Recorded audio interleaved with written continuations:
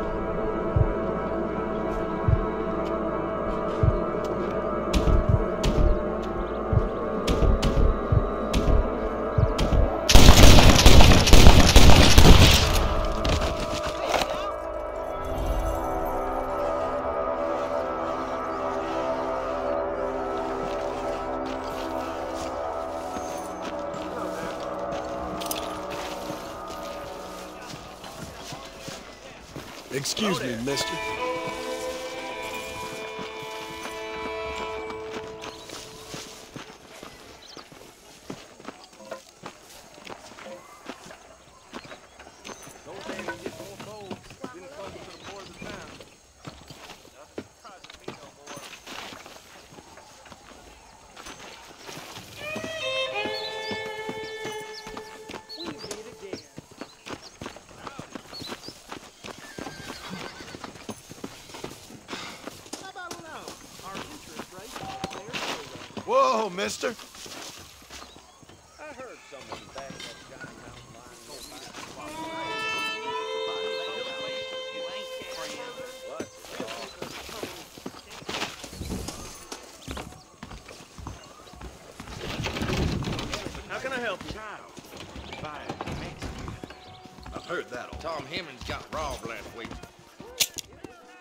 Mister. I keep foreign and Jewish-made goods out of my store. Help our American families.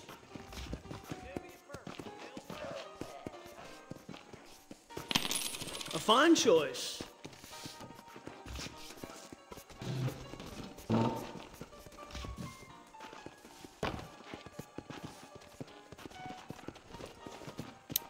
I'll be honest, I'm kind of overstocked at the moment, sir. Buried out by Rio del Lobo. Anything else I can do for you? Did you say something?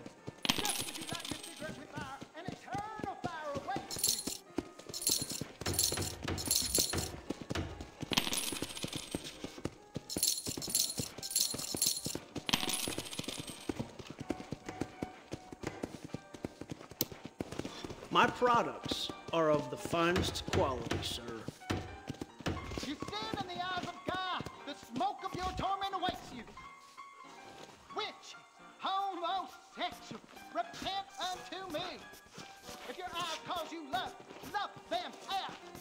Get to the docks tomorrow. Oh, innards don't feel right at all. Hello there. But sing hallelujah to his I don't know how you get away with these prices, mister. You're welcome here anytime.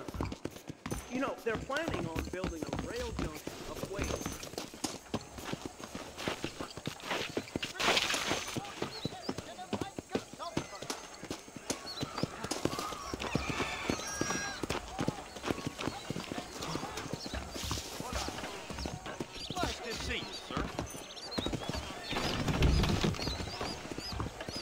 Feeling ill, I hope. Need some laudanum? How are you, mister? I got stock of them electric belts if you need to lose weight.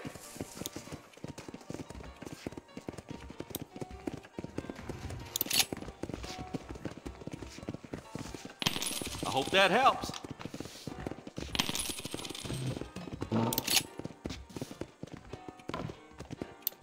That's a tough decision.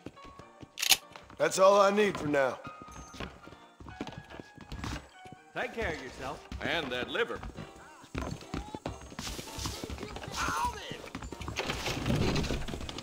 Please feel free to browse my selection. How are you, friend? We got the Second Amendment for a reason, don't we?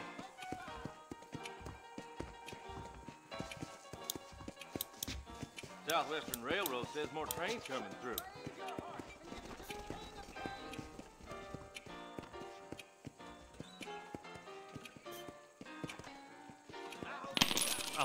Transaction.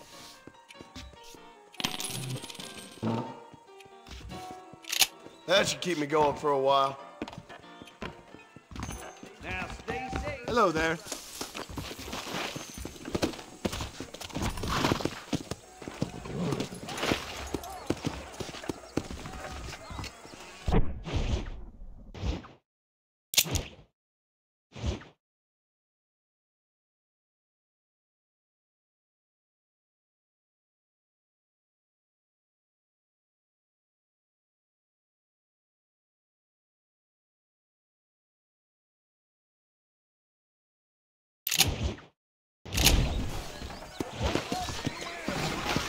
Let's go.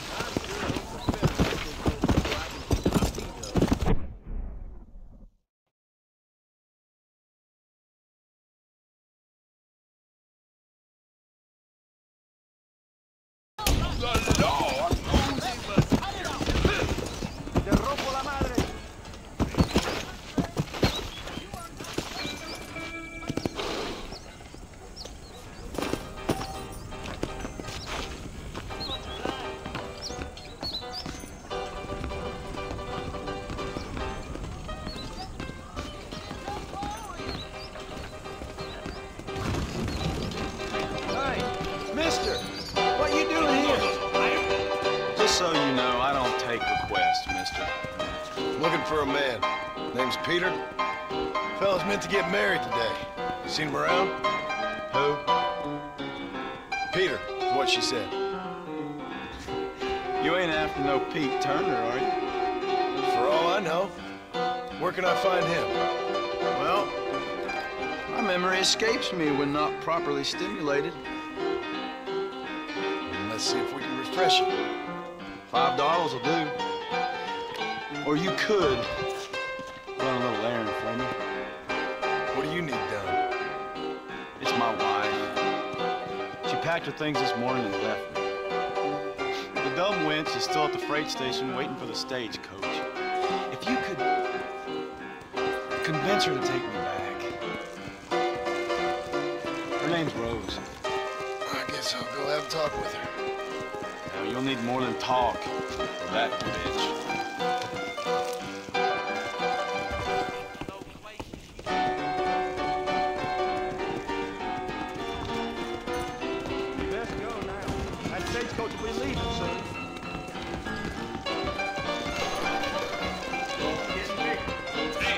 Here, this might loosen your tongue. Truth is, Pete Turner ain't been an armadillo for near on 20 years now. Kind of a queer fella and all. Wasn't here every night. Sure as the moon in the sky. What happened to him? What happens to all of us? I reckon you'll find him at Odd Fellow's Rest. Yeah, that's where he'd be, I guess.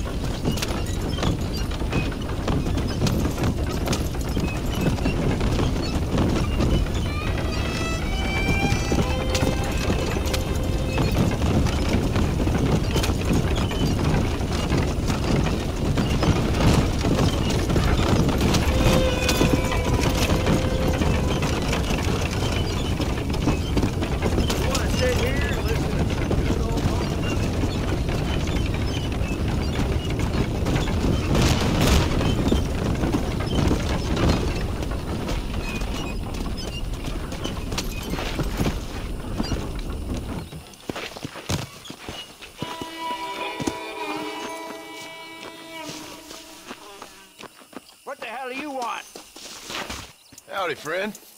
I didn't know anyone lived out here. Whoa! Now you can't rob the place now, can you? Now get!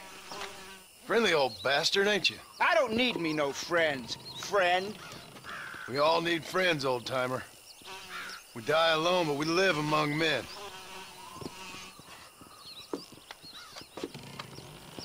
You know, I was interested in moving out this way with my family.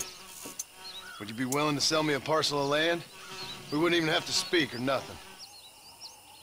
Land's too dry for farming. Bandits run all the cattle off. Why you want this land? I guess I just like the scenery. Well, I don't know.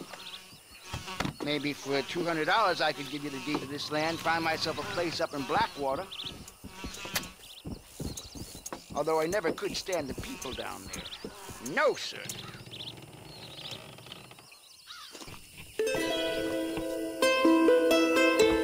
It's a bargain at twice the price. Why don't you come back when you got the money? Why don't you come back when you got the money? Why don't you come back when you got the money?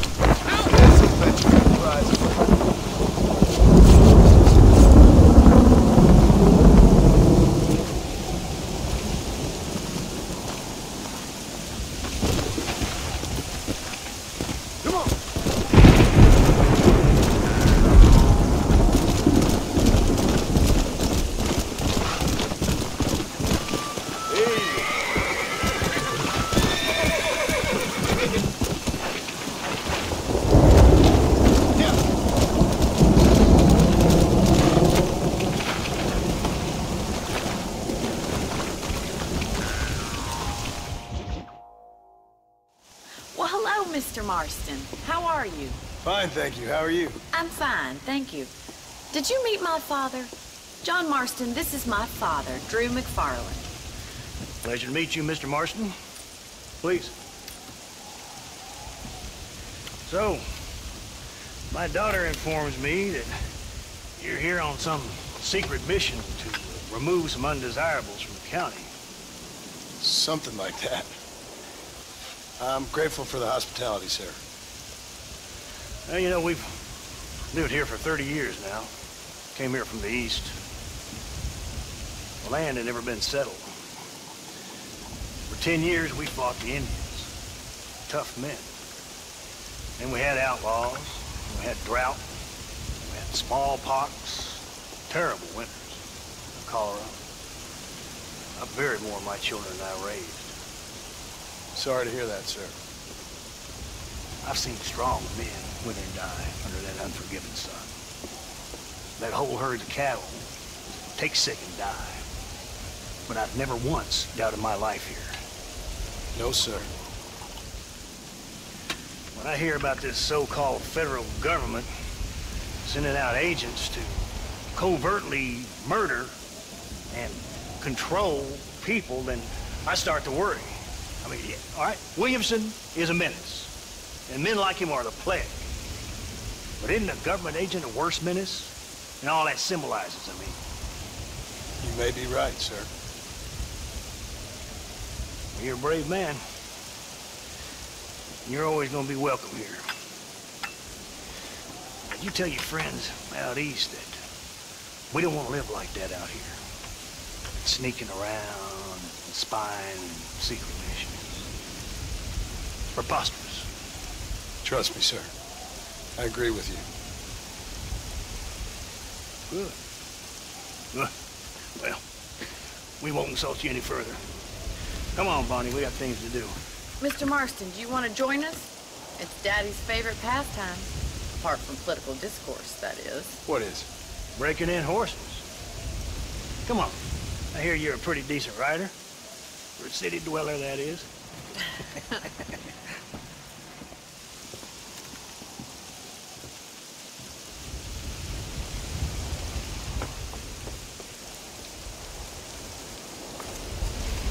You're gonna need this, Mr. Marston.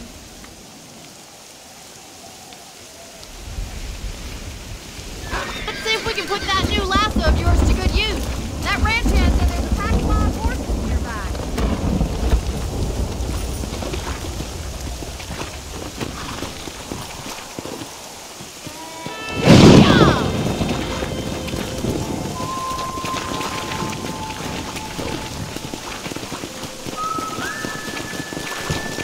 You sure have some interesting theories on what the government's doing, sir. They ain't theories, Mr. Marston. I saw the telegram Marshall got from Blackwater. It ain't exactly a state secret that sent you. Well, is he wrong? I saw those men from the train. The government can go to hell if you ask me. Those sons of bitches would steal a coin off a dead man's eye. Mr. Marston! He's right. Now, I don't know much about politics, Please, Paul, can we just enjoy but I the know ride? we're only as free as they say we are. Power's like a drink. The more you have, the more you want. There's few men who can handle it.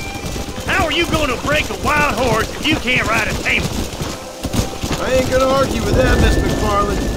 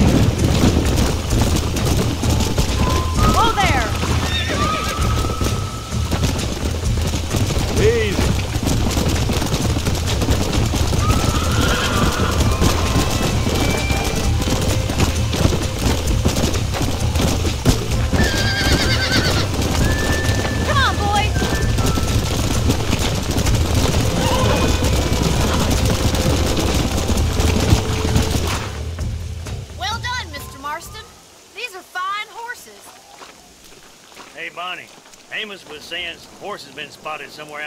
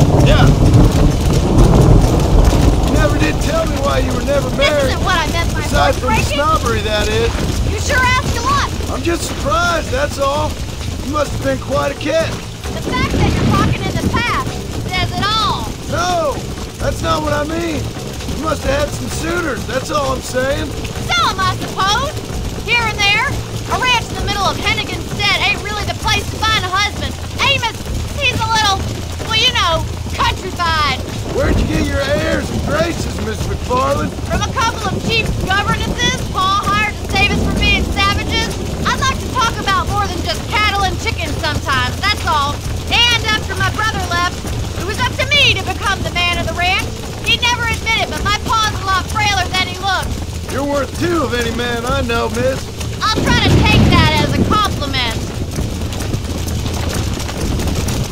Yeah. In many ways, my wife is kind of like you, Miss MacFarlane. Is that so? She's always been a woman in a man's world. You don't talk about her very much. It's kind of painful. She's never far from my thoughts.